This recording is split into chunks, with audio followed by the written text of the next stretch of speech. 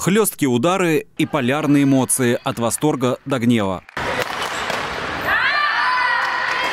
В Химкинском клубе ракеточных видов спорта первенство по парному женскому бадминтону. Впервые в городском округе его провели 6 лет назад. Тогда в нем приняли участие около 40 спортсменок. Сегодня в турнирной сетке уже 60 пар, и это 120 участниц со всей Московской области. Работа долго велась, чтобы популяризовать именно женские пары, потому что, в общем-то, считается, ну так, негласно, что это самый, не самый интересный разряд, да, не самый смотрибельный, но нам удалось его поднять в глазах любителей бадминтона. Турнир по бадминтону проходил два дня. Победители определили в пяти категориях по уровню игры, от начинающих до полупрофессионалов.